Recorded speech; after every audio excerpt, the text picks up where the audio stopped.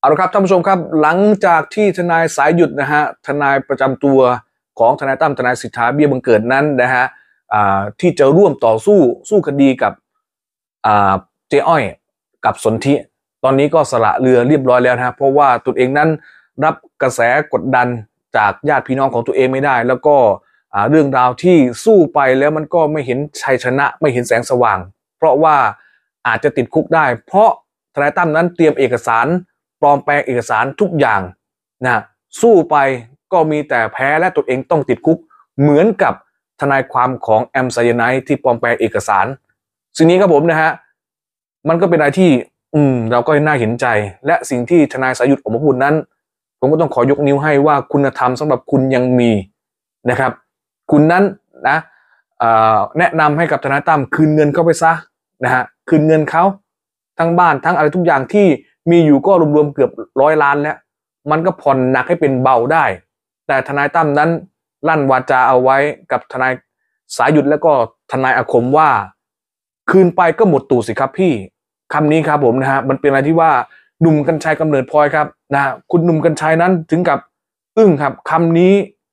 คนที่เคยคบเคยรู้จักนะฮะแล้วเคยชื่นชอบว่าเป็นทนายประชาชนนะฮะสร้างภาพอันรวย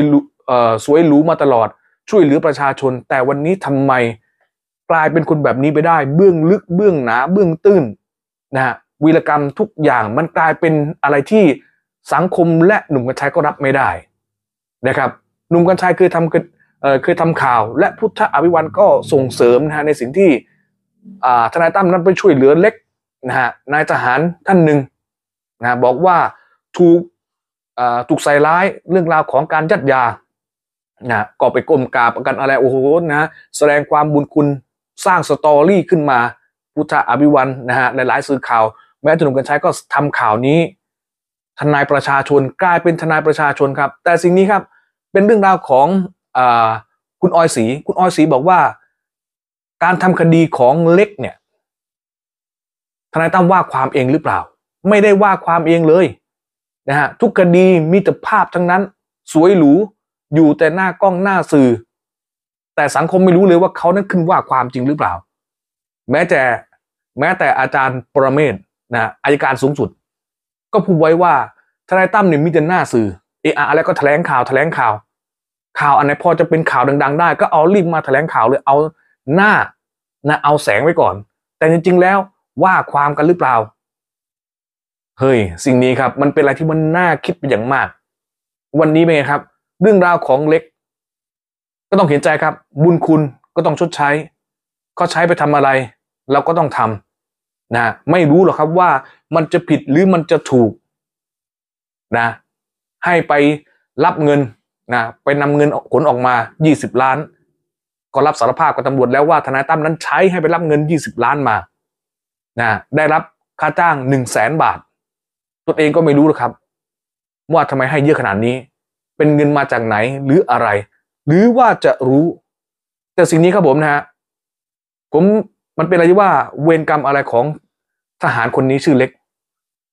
ชีวิตจะต้องอยู่แต่กับคุกเหรอฮะหรือเป็นยังไง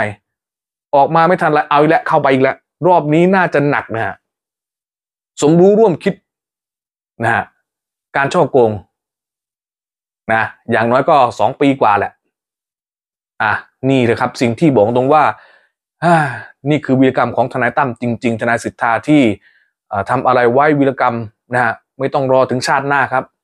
ชาตินี้เห็นเห็นนะชาตินี้เห็นเห็นเลย เอาแล้วตอนนี้สังคมโซเชียลต่างๆ หรือทนายสายหยุดทนายอาคมก็อยากให้ทนายดิชานั้นเป็นทนายความให้กับทนายตั้มเพราะว่าทนายดิชานั้นบอกว่าเป็นเพื่อนรักอยู่เคียงข้างกันมาตลอดนะฮะหาวิธีช่วยเหลือตั้มมาตลอดว่า ตั้มมีสิทธิ์รอดอย่างนั้นตั้มมีสิทธิ์รอดอย่างนี้ ไอ้ตั้มอย่างนั้นไอ้ตั้มอย่างนี้ วันนี้ถึงเวลาที่ธนาดิชาจะต้องโชว์ความรู้ที่เรียนเนติบัณฑิตมานะฮะ